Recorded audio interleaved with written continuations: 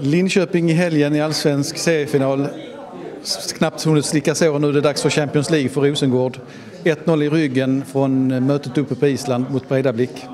Har du fått kraften tillbaka i trupperna igen, Jack Majgard Jensen, tränare? Ja, det tror jag absolut, jag har.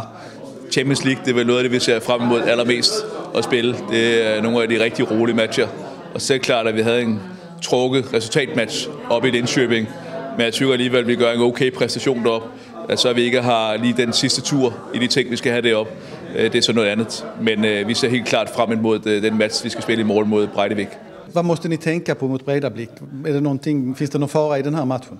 Absolut, det gør der jo altid, når vi spiller de her matcher her, fordi vi vil gå ud og dominere matchen fra start af, tage torg i bolden, prøve at have et snabbt pasningstempo, øh, hvor vi så klart prøver at hitte de ydre, vi gerne vil på planen. Men risken er jo altid, at man forlorer bolden lidt, når man er højt med mange spillere i laget, og det betyder også, at der findes jo muligheder for omstillinger. Og vi så, Breidevik var ganske bra på det i sidste match mod os, hvor de godt kunne have gjort et mål øh, på en omstilling. Så vi måste være dygtige, når vi har bolden til at undvike at forlore den, og vi måste være rigtig bra, når vi forlorer den, til at vinde bolden direkte igen. Ni vann borta mot Bredablick på Island med 1-0 och jag antar att det måste ha varit en av de mer märkliga fotbollsupplevelserna. Ja, jag har nog aldrig spelat i en sån konstant vind eh, och regn på det på Island. Eh, så att, eh, det var speciellt men det var ganska skönt att känna att man fick ett bra resultat utifrån den matchen.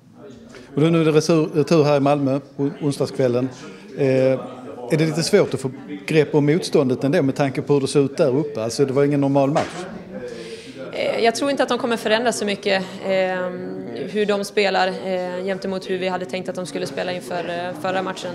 Eh, det är klart att man kanske inte fick se hela deras register med tanke på, eh, på stormen eh, men eh, samtidigt så tror jag inte att de fick se eh, allt eh, vårt register heller. Så att eh, ja, det blir väl en, en hyfsat liknande match kanske fast med förhoppningsvis ett lite bättre spel från båda lagen.